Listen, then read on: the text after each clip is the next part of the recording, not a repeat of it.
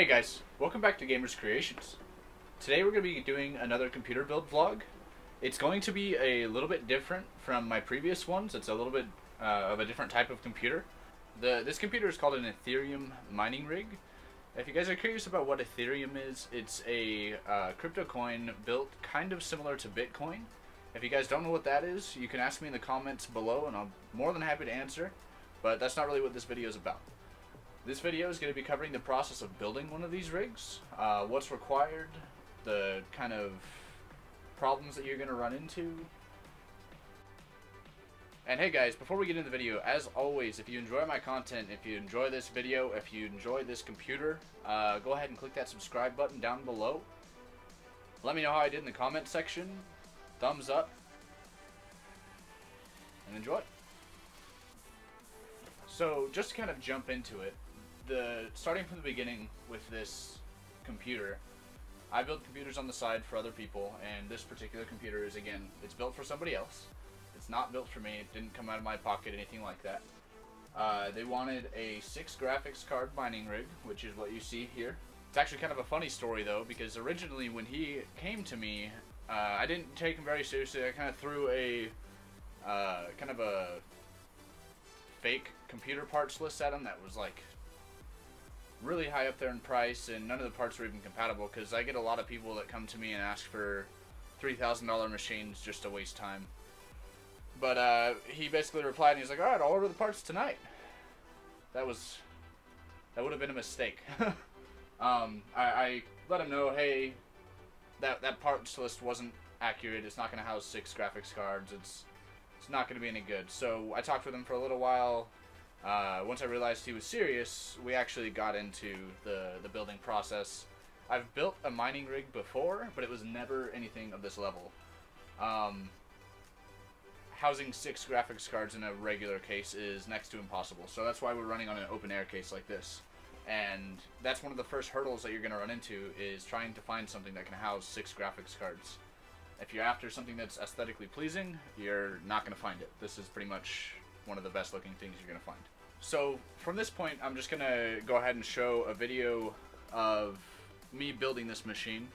Uh, I'm still probably going to talk through it. I'm going to kind of minimize myself into a corner, I think, and then show the building process. It's it's pretty interesting. It's not incredibly difficult, but uh, you don't build a computer with six graphics cards in it every day. So I thought it was pretty cool. One of the first hurdles that you run into is obviously trying to fit six graphics cards into any case at all it's just not going to work.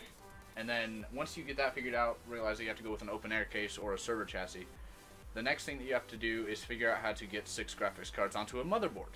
There aren't very many motherboards with six 16x PCI slots, and that's what you'll run into.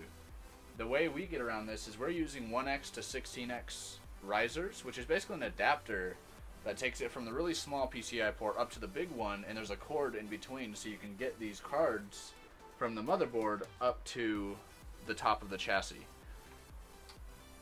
Another thing that you're going to want to be worried about when it comes to these cards is a lot of risers aren't powered. If you try to run six high-powered graphics cards out of six PCI ports on a motherboard, if it's not designed to handle it, it's going to fry it. Another way you can get around this is just to not cheap out and buy powered PCI risers, but if you don't have that option, some motherboards do have additional power ports to handle the extra power required for the graphics cards. When it comes to Ethereum mining, the, the processor is almost irrelevant. So you can run tons of graphics power out of a dual core Intel processor that's old. Uh, in this case, we went with a brand new Intel Celeron, I believe uh, an 1150 or an 1151 socket uh, about two or three years behind, but that was just the cheapest option with our motherboard combination. Another thing when it comes to RAM, it's again, it's almost not relevant. Uh, 8 gigs, 16 gigs. 16 gigs is probably too much, 8 gigs is fine. I think with this rig we ended up going with 8, I can't quite remember. Um, I'll put it down in the description, the exact specs. Another thing we're not really going to be getting extensively into in this video is the software configuration. These computers are very complicated when it comes to software. Uh, it, it is only on the surface a few different commands, but you gotta get them right, and you gotta configure your cards to work. Um, we're going with Ubuntu off of a uh, platter drive, a hard disk drive. A lot of people go with SSDs paired with something called an ethOS, which is something you purchase, and that's the way I recommend doing it if you ever plan to do this. But like I said, this is not a tutorial. We're not getting really deep into software configs and stuff.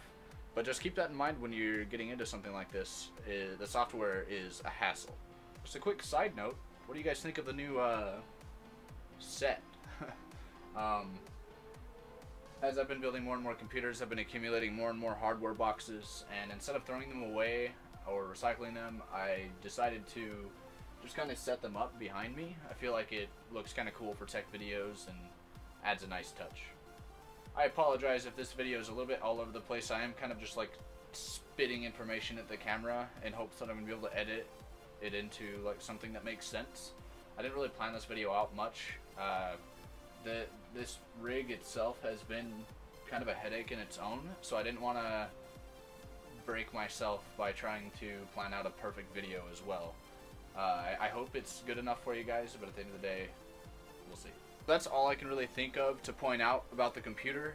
Uh, if you guys have any questions at all, any concerns, any critiques, anything like that, leave it in the comment section below. I'm very active there. I'm going to go ahead and continue playing whatever is left over of the build process and then maybe some uh, nice computer shots. Thank you so much for watching. If you could please subscribe, thumbs up, and uh, see you in the next one.